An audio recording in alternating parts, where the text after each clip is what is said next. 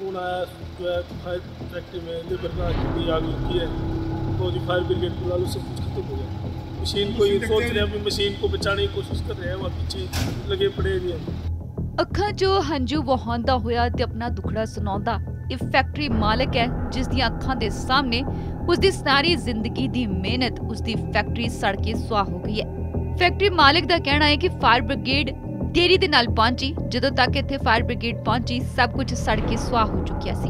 ਉਸ ਦਾ ਸਭ ਕੁਝ ਉਜੜ ਗਿਆ ਹੈ, ਸਭ ਕੁਝ ਖਤਮ ਹੋ ਗਿਆ ਹੈ। ਦੱਸਿਆ ਜਾ ਰਿਹਾ ਹੈ ਕਿ ਇੱਕ ਟੈਕਸਟਾਈਲ ਫੈਕਟਰੀ ਹੈ, ਜਿਸ ਦੇ ਵਿੱਚ ਅਚਾਨਕ ਅੱਗ ਲੱਗ ਗਈ।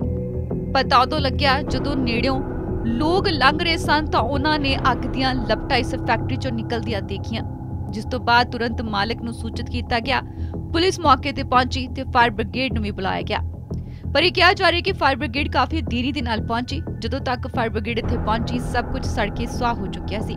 ਫੈਕਟਰੀ ਦੇ ਵਿੱਚ ਪਿਆ ਲੱਖਾਂ ਦਾ ਮਾਲ ਤੇ ਕਰੋੜਾਂ ਦੀਆਂ ਮਸ਼ੀਨਾਂ ਵੀ ਸੜ ਕੇ ਸੁਆਹ ਹੋ ਗਈਆਂ ਨੇ, ਜਿਸ ਕਰਕੇ ਇੱਥੇ ਫੈਕਟਰੀ ਮਾਲਕ ਵੀ ਕਰੋੜਾਂ ਦਾ ਨੁਕਸਾਨ ਦੱਸ ਰਿਹਾ ਹੈ। ਉਸਦੇ ਹੰਝੂ ਵੀ ਨਹੀਂ ਰੁਕ ਰਹੇ ਕਿਉਂਕਿ ਉਸਦੀ ਅੱਖਾਂ ਦੇ ਸਾਹਮਣੇ ਉਸਦਾ ਸਭ ਕੁਝ ਉਜੜ ਗਿਆ ਹੈ।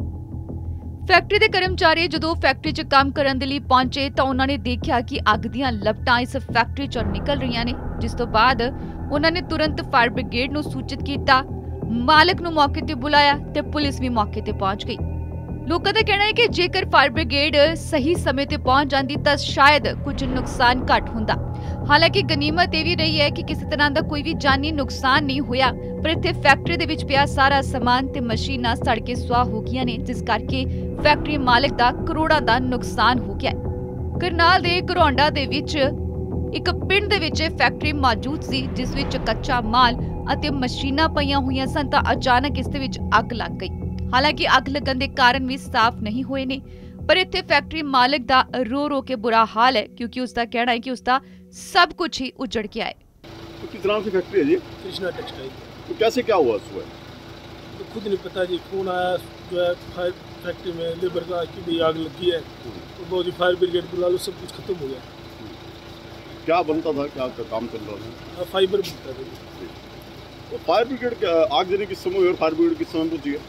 फायर ब्रिगेड तो आई नहीं जी अभी आई फायर ब्रिगेड तो थोड़ी देर पहले आई है घंटा तो हुआ जी फायर ब्रिगेड आई हुई अच्छा। क्या दिक्कत रही? संपर्क नहीं फ़ोन फ़ोन करे जी संपर्क नहीं आया किसी का फ़ोन नहीं उठा जी। हम्म, फिर यहाँ सबसे पहले पुलिस वाले आए जी। हम्म, पुलिस वालों ने यहाँ फायर ब्रिगेड को फ़ोन करके बुलाया। हम्म। कितना नुकसान हुआ? तो लगाए हुए हैं साहब, सब कुछ आपके सामने है सारी चीज़ खत्म ही होगी टोटल खत्म माल मशीन अभी तो मशीन को ये सोच रहे हैं अभी मशीन को बचाने की कोशिश कर रहे हैं वहाँ पीछे लगे पड़े नहीं हम।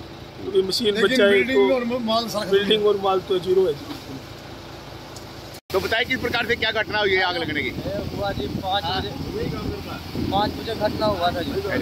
पाँच बजे घटना हुआ उठाने गया बंदा। उठते उठते ने आए हैं तो देखे काबू ने आने की कुछ नहीं है। है काबू ने आने की कुछ नहीं है। उसको बाद हम लोग आए तो हिलने नहीं पाए अंदर। जे जब बना जो हमने किया जी। उसको बाद जब फ़ोन हम बाबू लोग के किए आए बड़े बाबू आए मास्टर आया। तो कैसे लगा आग? पता लगा? ये से फोल्ट हो गया होगा जी। फॉल्ट हो गया है। तो पूरी फैक्ट्री जल गया? हाँ, तो जो लेबर थी वो इसके अंदर ही थी? लेबर तो भाग चला लेबर बाहर रहता है। तो फायर ब्रिगेड आ गई मौके पे? पुलिस फायर ब्रिगेड फायर वगैरह पे जल्दी ले नहीं पाया बंदा जी। तो काबू आता नहीं।